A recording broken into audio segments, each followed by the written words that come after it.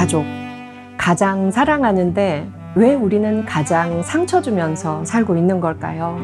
제가 만나서 상담한 가족들이 2,500가족이 넘어섰더라고요. 저는 이 가족들을 만나면서 딱 두 가지 중요한 사실을 알게 됐습니다. 첫 번째는 우리는 서로에 대해서 너무나 많이 오해하고 있다는 거였습니다. 제가 만난 가족들은요, 상담실에 와서야 처음으로 서로의 마음을 확인했어요. 그리고 10년, 20년 묵은 상처들을 처음으로 꺼내놓고 오해였다는 걸 알고 서로에게 미안해하고 이해로 나아갈 수 있었습니다. 사실 우리는 알면 사랑하기 쉽고 모르면 오해하기 쉬운데 가족을 알아가는 과정이 굉장히 힘들었던 것 같아요. 두 번째는 사랑하지 않는 가족은 단 한 가족도 저는 보지 못했습니다. 모든 가족은 분명히 사랑합니다. 사랑함에도 불구하고 우리가 오해해서 잘 몰라서 그리고 대화가 없어서 서로의 마음을 모르기 때문에 상처가 깊어져서 골마 터졌을 때 전문가의 도움을 얻는 경우가 굉장히 많다는 거죠. 우리가 가족끼리 어떻게 대화하고 어떻게 싸우고 어떻게 화해해야 할지 사실 배운 적이 없습니다. 저 또한 마찬가지입니다. 상담을 하고 오해를 풀어주고 가족들을 더 사랑하게 만들어주는 일을 하고 있지만 저 또한 제 가족과의 문제는 가장 어려운 문제 중에 하나입니다. 그래서 우리는 가족에 대해서 공부해야 합니다. 가족 상담에서 가장 많은 아픔 1위는 부모, 자녀 간의 갈등입니다. 부모님들이, 아, 가족의 아픔은 이런 거구나. 가족 대화는 이렇게 해야 되는 거구나. 자녀와의 대화는 이렇게 하는 거구나. 이런 교육을 조금만 받으셔도 밖에서 상담자의 도움이 필요 없을 거라고 생각을 합니다. 두 번째가 배우자와의 갈등인 것 같아요. 우리가 서로를 이해하는 법, 그리고 잘 싸우는 법, 그리고 더 중요한 건 잘 화해하는 방법이에요. 이런 스킬들만 우리가 좀 배워도 가족 안에서는 놀라운 혁명이 일어납니다. 가장 도움이 되는 사람들은 싱글들이에요. 남녀가 만났을 때 자꾸 내 부모가 오버랩 됩니다. 우리가 건강한 연애를 위해서도 가족에 대해서 공부하는 건 필수입니다. 저희 엄마가 어제도 저한테 하신 말씀인데요.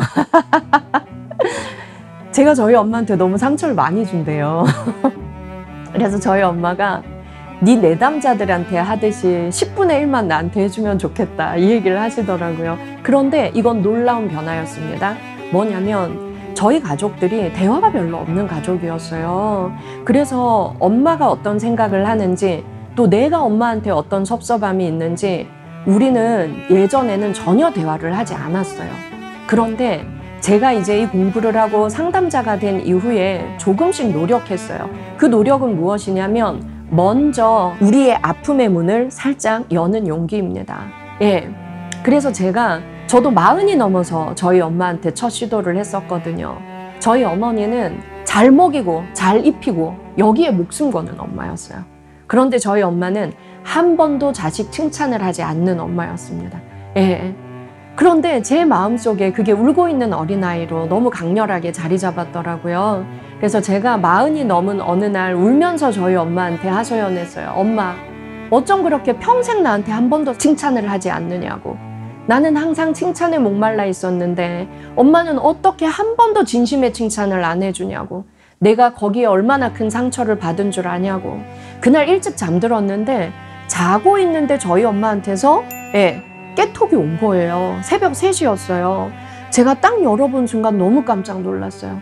첫 줄이 따라 점점점 미안하다 점점점 제가 그 첫 문장을 본 순간 통곡이 나오더라고요. 여러분 사랑한다 라는 단어 속엔 사랑이 없어요. 가족 사이의 대화에서는요 미안하다에 진짜 사랑이 있다는 걸 전 알게 되었어요. 전 엄마의 사과를 태어나서 처음 받아봤거든요. 딸아 미안하다 점점점 엄마가 자랄 때 부모 사랑을 못 받고 자라서 마음은 그게 아닌데 어떻게 표현해야 될지를 모르겠다. 그런데 엄마가 70이 넘었지만 한번 해볼게 미안하다 이렇게 온 거예요. 제가 그 밤에 얼마나 울었나 몰라요. 아 오해에 모든 것이 해소되는 밤이었어요. 아, 우리 엄마가 칭찬 못 받아봤구나. 부모 사랑 못 받아봤구나. 그래서 우리 엄마가 그 언어를 배우지 못해서 자녀에게 해주고 싶어도 해줄 언어가 없기 때문에 먹는 걸로, 입는 걸로 엄마는 해줄 수밖에 없었구나. 제가 그때 엄마를 이해했습니다. 우리 마음속에는 내면 부모가 있고 내면 아이가 있어요. 저희 엄마 마음에는 내면 부모의 상이 없었던 거죠. 부모의 사랑을 못 받고 자라서. 예. 그런데 엄마의 내면 아이, 울고 있는 내면 아이. 나는 부모 사랑을 못 받고 자랐는데 자녀에게 사랑을 주고 싶은데 배운 적도 없고 어떻게 해야 될지를 모르겠어. 그래서 엄마 70살 넘고 저 40살이 넘어서야 처음으로 미안하다. 노력해 볼게. 그래서 제가 울면서 답장을 썼어요. 엄마 정말 미안해요. 몰랐어요. 말해줘서 고마워요. 처음으로 오해를 풀고 그때부터 대화로 나아갈 수 있었어요. 제가 엄마한테 섭섭한 것을 말로 표현하는 그 첫, 첫 시도를 해보니까 엄마도 미안하다. 엄마가 부모 사랑을 못 받고 자라서 그랬다. 엄마의 고백이 시작되었고요. 그 뒤부터는 서로의 감정을 고백하고 오해가 커지기 전에 오해를 푸는 대화가 잘 되는 거죠. 예. 그래서 우리가 누군가가 먼저 말을 한번 꺼내기가 굉장히 어렵습니다. 그런데요, 가장 사랑하는 관계는 정말 가족밖에 없습니다. 그래서 우리가 이런 가족과 대화하고 가족과 오해 푸는 법, 이런 공부를 좀 함께 하면서 내가 우리 가족의 좋은 대화의 시초의 문을 여는 그런 시도를 한번 해보면 좋겠다는 생각을 합니다. 우리의 모토는 이거예요. 모르면 오해하기 쉽고 알면 사랑하기 쉽다가 가족 상담소의 우리의 모토입니다. 우리가 몰라서 오해했던 거예요. 그런데 알면 사랑하기 쉽습니다. 그래서 내 가족의 몰랐던 마음을 알게 되는 과정, 그래서 내 내면 부모와 내 내면 아이를 이해하는 그 과정도 아주 중요하게 들어갈 거예요. 그리고 내 가족과 대화를 시작할 때 어떻게 시작을 할지, 그리고 더 정말 중요한 건 말을 하는 것보다 잘 듣는 거예요. 내 가족의 말을 잘 듣고 어떻게 반응할지, 그건 우리가 어디에서도 배워보지 못한 가족만의 대화법이에요. 그 가족 대화법도 배워볼 겁니다. 무조건 가깝게 지내는 게 잘 지내는 게 아닙니다. 적당한 거리를 유지하면서 갈등이 생겼을 때 어떻게 해소할 수 있는지 그 boundary에 대해서 그 skill에 대해서도 우리가 함께 공부해 보려고 합니다. 박상미의 가족 상담소. 우린 여기서 더 사랑하는 법을 배울 겁니다. 내 가족을 살리고 타인의 가족도 살리는 법까지 배울 수 있을 겁니다.